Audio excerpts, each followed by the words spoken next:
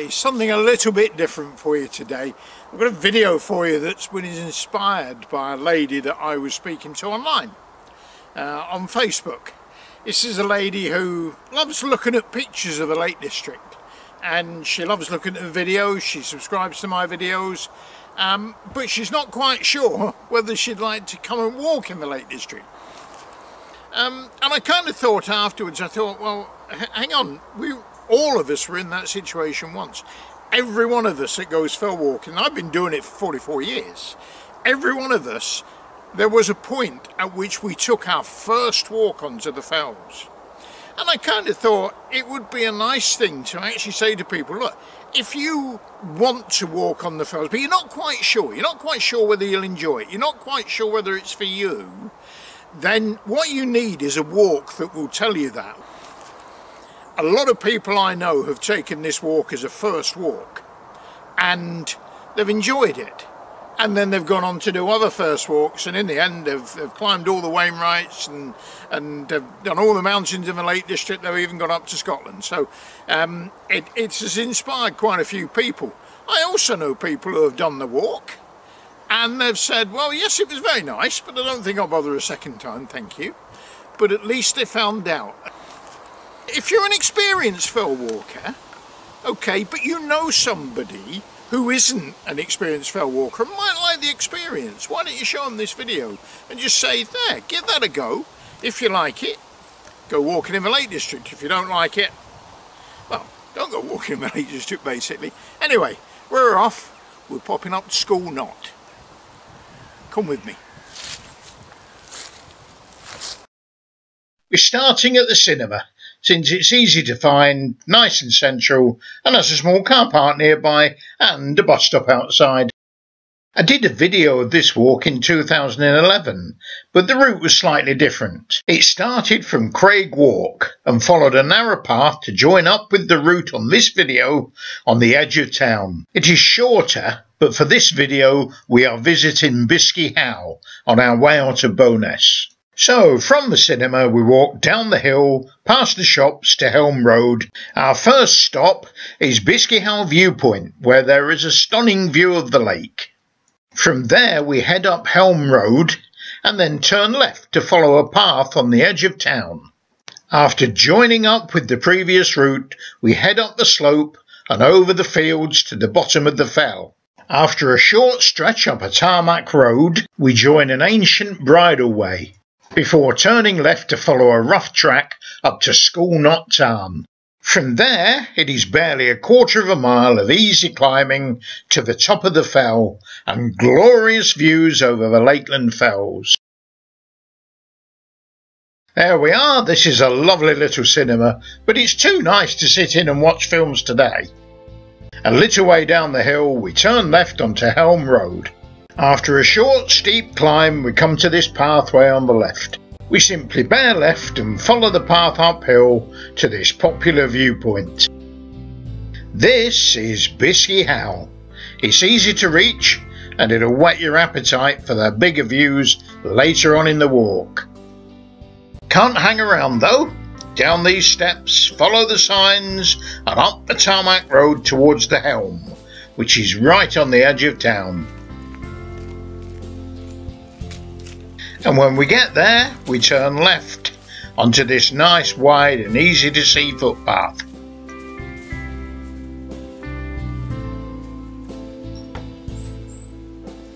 We've got houses beyond the trees to our left and fields to the right. It's very pleasant. This is where we meet the other route. Over the stile, bear right, keep the houses to our left. Our first real navigation difficulty. Not too bad really, it's just that there is a fork in the path and no sign. There are two yellow arrows on the rock to our right. It's not the best idea, but you do sometimes find this in the Lake District.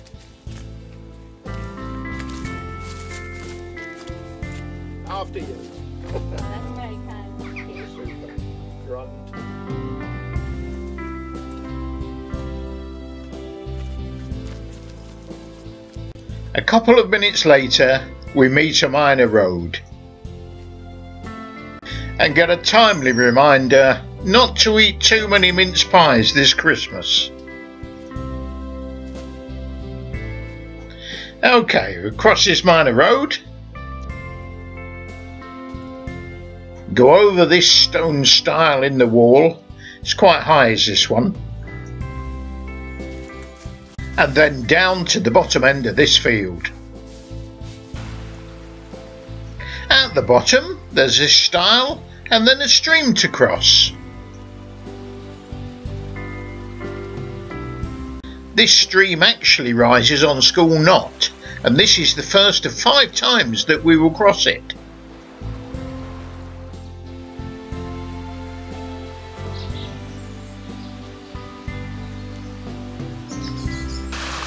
About 20 yards later we cross it again. I should try not to get too excited.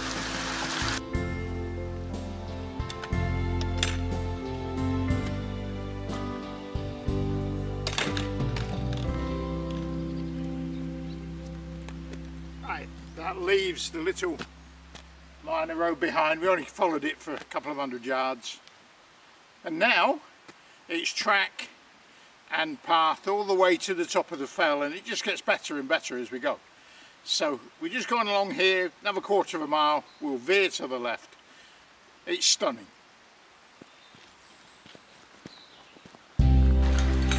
Barely another quarter of a mile and look what awaits beyond the gate. This time we have a nice set of stone slabs to help keep our feet dry, although I often just walk through the water. Another quarter of a mile and we're at crossing number four. Only this time there's no bridge or stones, although it's seldom more than a couple of inches deep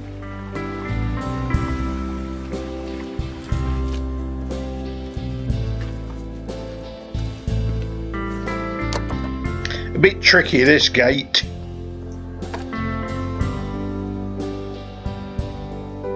Believe it or not, we're actually about to cross the stream again. It runs underground at this point. Okay, so you've come this far. You're out here on the on the fells above the town. There's virtually nobody around.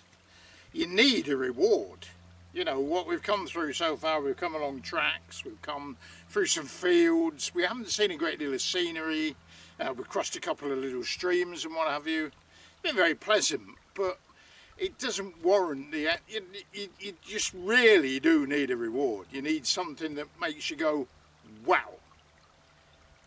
Well, I think you're just about to get one.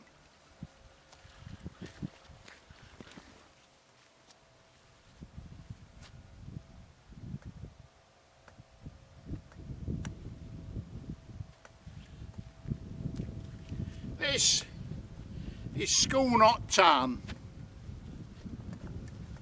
Beautiful. There's the source of our stream. It's rather pretty, isn't it?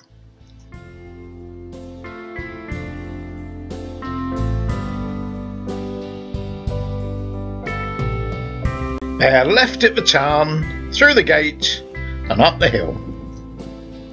Lovely views to my right, looking towards the Howgills. Applethwaite Common, overlooked by Sour Howes and Sallows. Orrest Head there to the left, and to the right, topped with cloud, Red Screes. And when we reach the top, this is the view that greets us. The two Windermeres lake and town with the fells of the Lake District nicely on display in the background. Across the lake, Claife Heights with the Coniston Fells as a backdrop. Looking southwest in the far distance Black Combe. Here we are. Not bad views then, are they?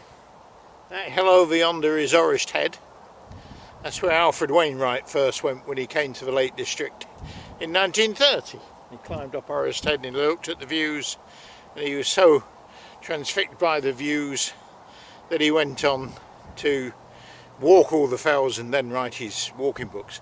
He didn't actually like School Knott. He didn't like the fact that there were too many people who came up here and walked their dogs. He preferred Grandsire, which is uh, the hill just behind over there. Um, a bit of peace and quiet. Um, but actually, uh, I have to say I like to meet people on the fells. Um, it's each to their own really. But uh, you won't meet many people up here. You do get occasional people coming up, but not many. Um, and it's a beautiful walk. And uh, I do hope you take it because you'll enjoy it. And, well, if you don't enjoy it, you know not to do it again. But I think you'll enjoy it. I know I certainly do. Every time I come up here and I meet an awful lot of people who have never been before and they absolutely love it as well.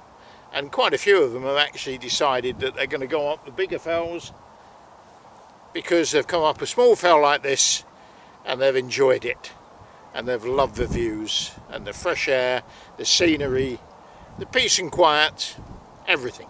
It, it's just perfect.